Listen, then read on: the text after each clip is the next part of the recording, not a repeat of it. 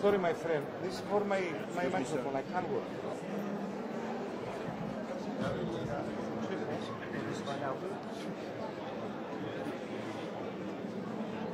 It is, it is dark, actually,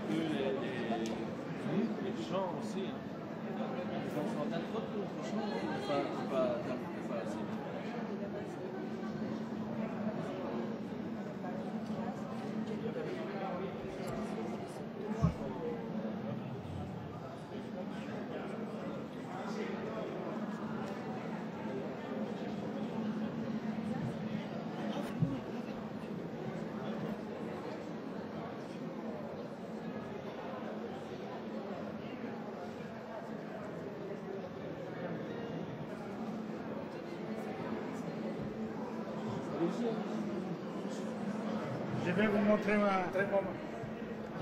mon pays.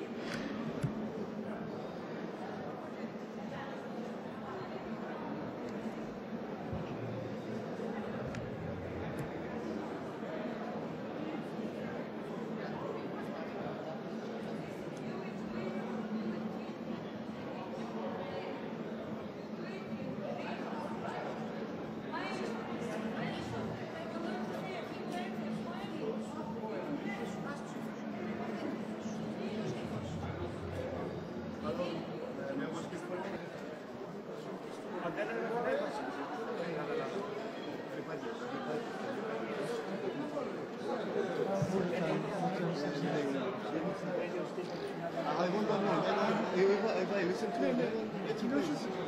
Κοινός ο τύπος που είναι εδώ. Είναι Παναγιώτη Τρακούλη. Είναι σε εδώ βλέπεις. Ναι, ο τύπος είναι κάνει δύο, ναι, είναι Ιστεριώσαμε. Εντάξει, τζάμι. Τώρα με φέρεις της Ευρωπαϊκής Ένωσης. Ε, έχει... Έχει... Θα μας δίνει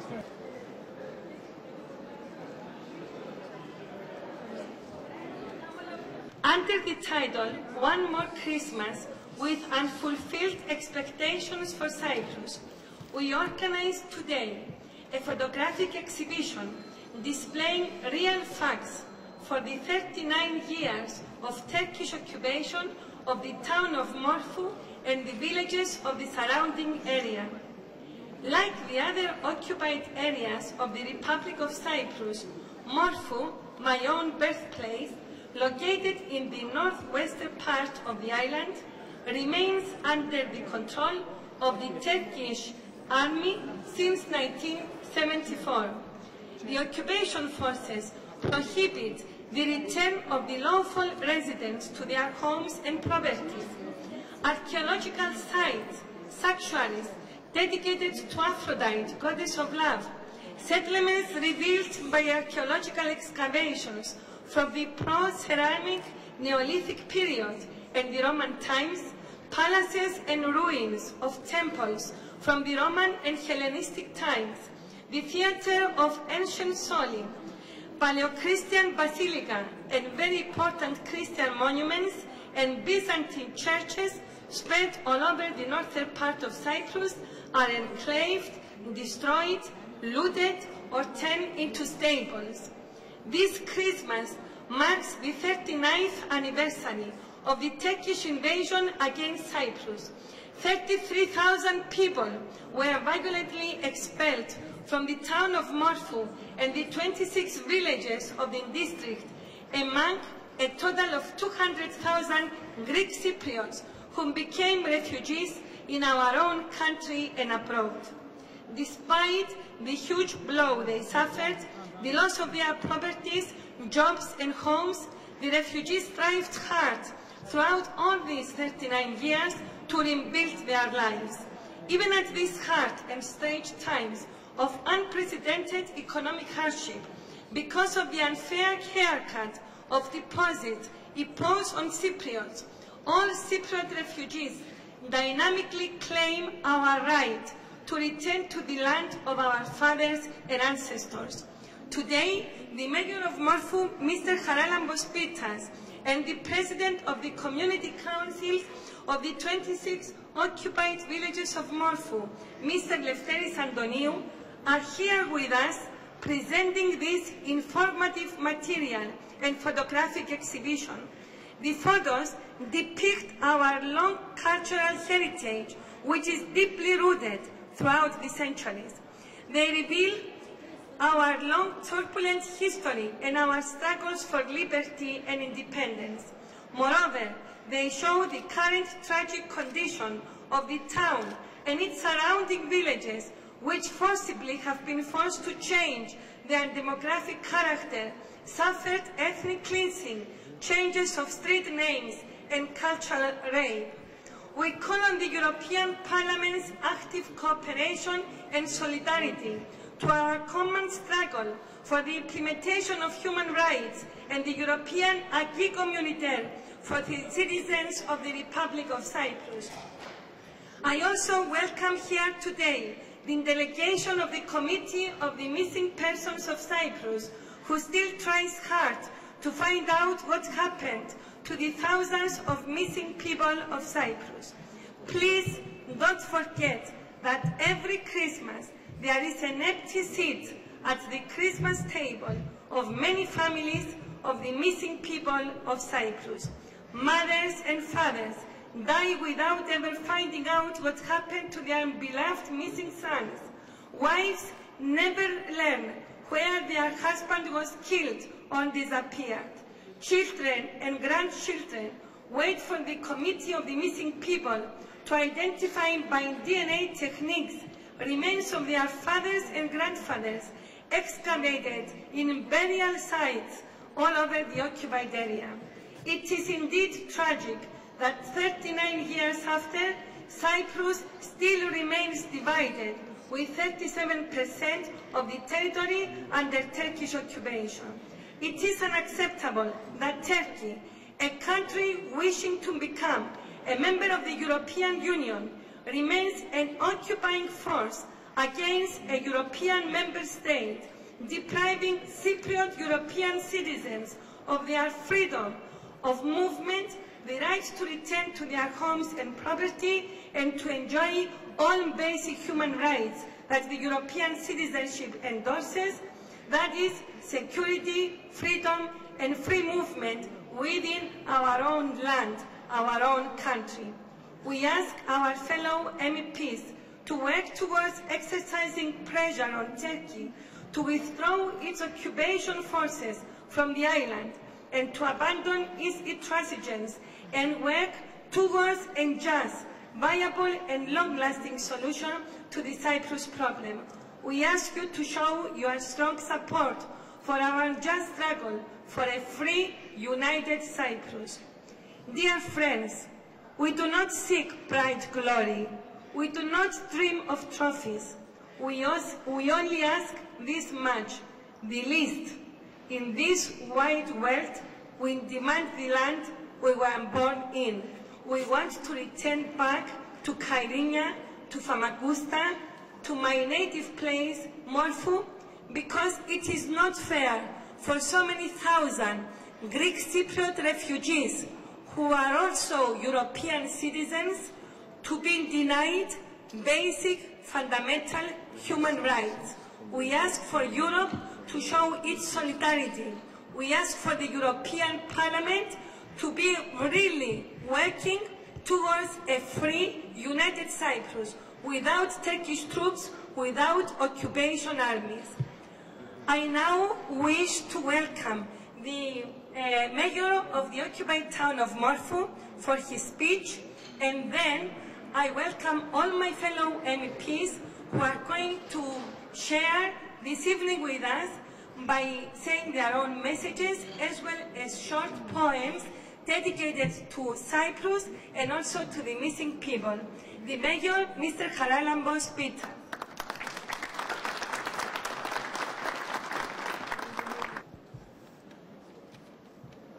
Honorable members of the European Parliament, ladies and gentlemen, Kodak QR in Cyprus in the tragic summer of 1974 can only be described as ethnic cleansing, with 200,000 people being displaced from their houses, deprived of their property, and sinking refugees to the south part of the island. Turkish invasion also left behind thousands of dead people, but even more tragically, our cultural treasures and national heritage have been destroyed or illegally exported and sold abroad. Our ladies and gentlemen, I would like to welcome you to this photography exhibition, which is the result of a hard and devoted work. Since August 1974, the destruction of the European civilization has been systematic and ruthless. As you will see, the, the pictures speaks to themselves and portray to this tragic situation to, the, to its actual extent. Tradition and civilization will be moved by these pictures and we will and we and we will use all his or her influence religion. We are not talking only about Cypriot Greek Turks. We are talking about every man and every woman, or any civil of every European citizen for for democracy to the European Union as it has been decided in the Copenhagen Summit we have to build the island. There should be respect by both communities with international all European Union for our children, a reunited and prosperous Cyprus.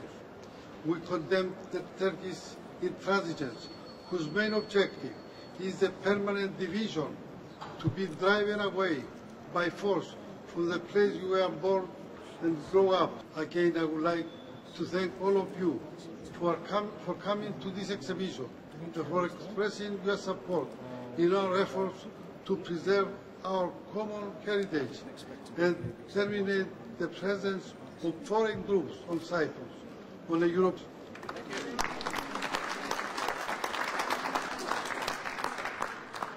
I really thank all the MEP. The poems, I've got three poems here, all of which are very appropriate and very apposite. The first one is called Promenade. The moonlight circles above the neighbourhoods, seeking tirelessly and tearlessly for the missing persons, unfolding its thoughts one by one, filtering its memories one by one, spreading its pale balm from shore to shore to soothe your wounds, my island. The evenings come and go from the orange trees of Morphou the lemon trees of Lapithos to the seas of Kais, and praise freedom in hymns. The second poem is Women in Black. Your history, my island, recounts the struggles and gallows for centuries now, the fallen and missing years now. The sun of liberty, deep red, sinks into... Thank you very much, Mary. Now I shall give the floor to my colleagues here, uh, starting from Anne Sinclair. The, what you are going to hear are uh, translations of the songs we are going to listen in a while from the municipality of Strovolos, which came... And this issue is close to my heart. And I think it's a, an unimaginable torture that for almost 40 years now, families have wondered about their loved ones and where they are and what happened to them. It is not commonly known that the whole beautiful island of Cyprus is part of the European Union. It is within the EU borders. But of course the acquis communautaire is suspended for the northern. So for the last 10 years almost, part of the European Union is occupied. And I, it is incumbent upon the European Union to do everything possible, especially to a candidate country, to make sure that A, the missing people's families are notified of what happened to their loved ones, that B, no new settlements are made in northern Cyprus by Turkish people, and C, that is the united Ireland once again. Now I would like to just read this short poem by, sorry for the pronunciation, Evagorius Palientres. Palientres, sorry, thank you. It's very thought-provoking. You have found wine for the immortals, and you drank. Death is your life, but dead you will never be. Thank you, Nikki. No, wait a few minutes. Uh, now Cecilia Wikström is going to read something in Greek, and actually is the Cypriot dialect. Come on, Cecilia. I know you can make it. You can do it. Well, everybody has spoken about the tragedy, the Cypriot missing persons. I just want to underline that this is a European issue. It's a European tragedy since 1974 that has not been solved.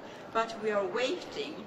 Garderumen, meran nyktan na fysisi enas aeras, stundon topon pun panemos sia chan tori pote drosian jana fexi kardrumen tofos cinis tismeras pon aferi ston catenan ce drosian ce trospasian. Και δροσιάν και προσπασίαν. Α, αυτό ήταν. Θα σας πω. Δεν ξέρω την, την, την προεδρία στα, στην Κύπρο. Είναι, είναι πάρα πολύ δύσκολο για μένα, αλλά τώρα προσπάθησα. Γαρδερούμεν μέραν νύχτα, μέχρι το τέλος.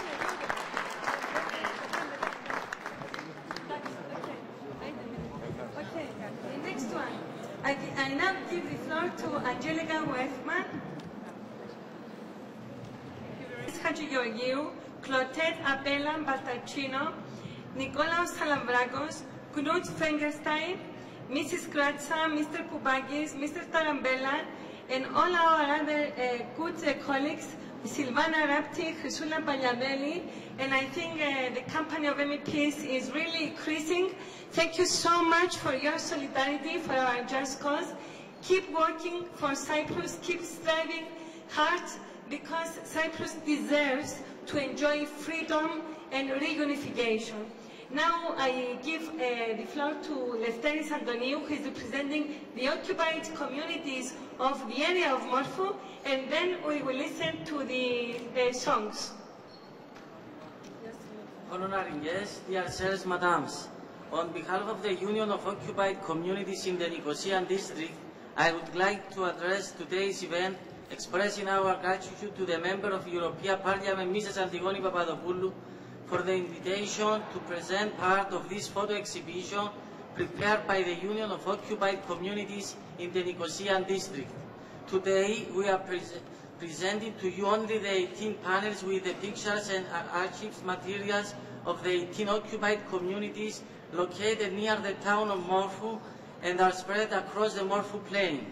There are a total 39 occupied communities in Nicosia district waiting patiently for 39 years to be freed from the Turkish troops and are expecting the reunification of the island as in the pre-1974 period. For every one of the 18 villages occupied in the area of Morphou, there is a small text in Greek and English language referring to archival and scientific sources indicate the Greek origin of these villages for centuries. We are hoping that we will get your support for lobbying against Turkey, the occupied country, so as to return the occupied land of our country to its rightful inhabitants. We demand vindication and return to our village and our towns. Thank you.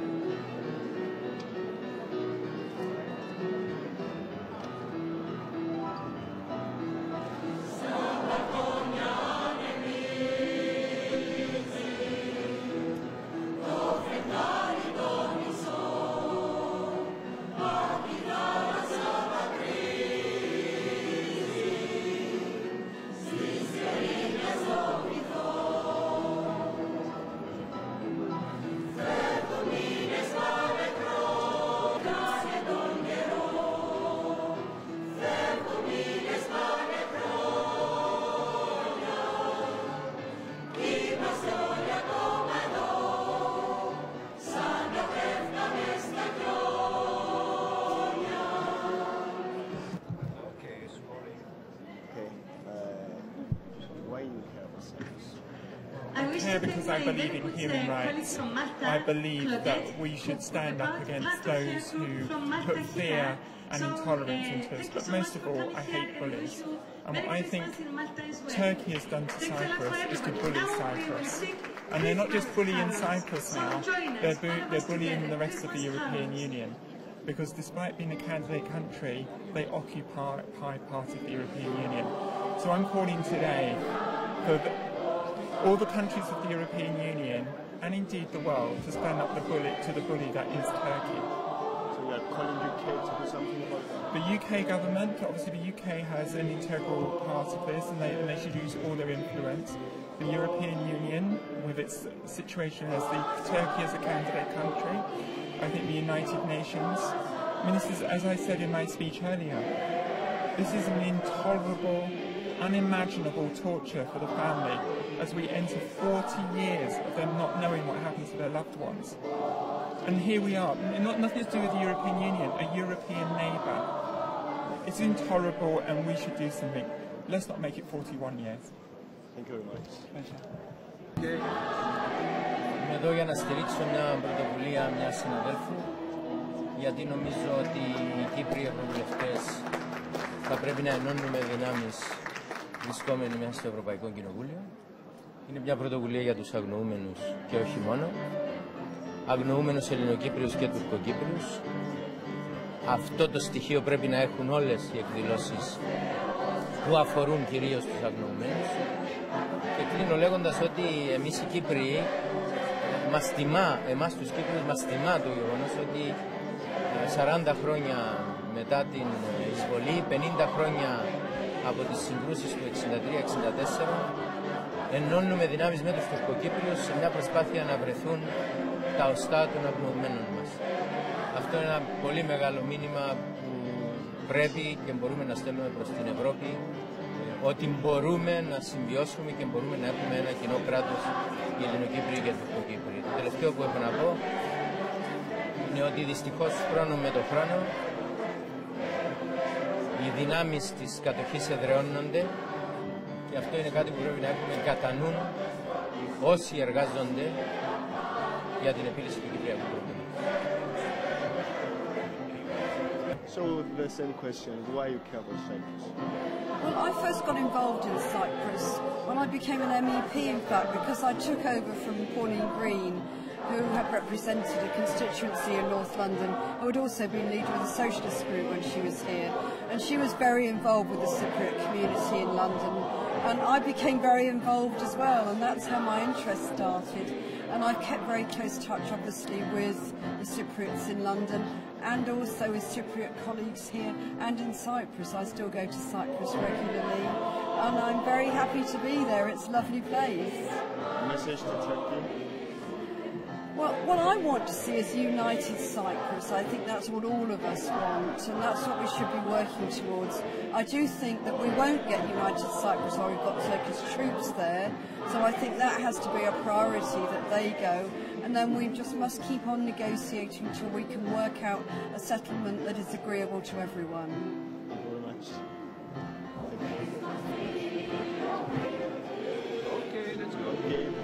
Question is why you care about Cyprus?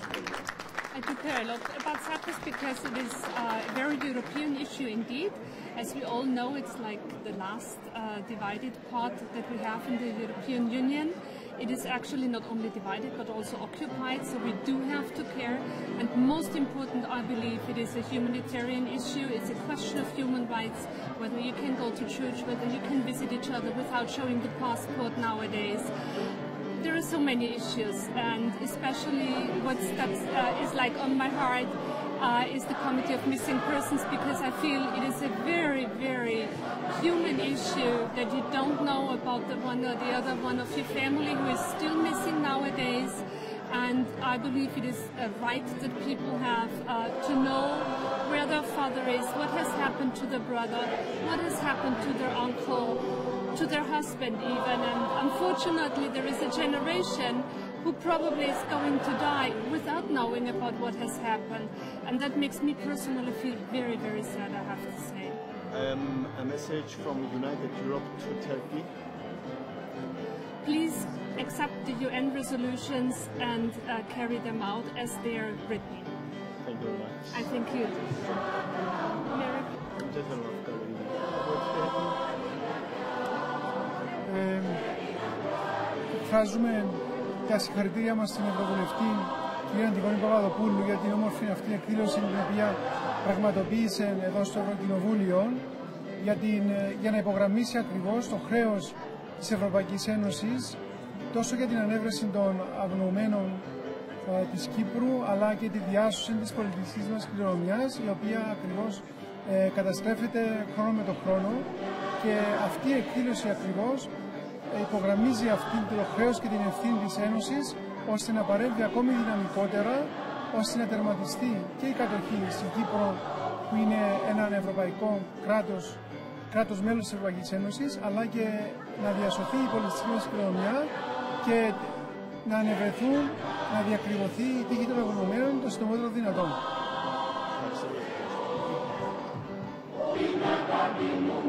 σημερινή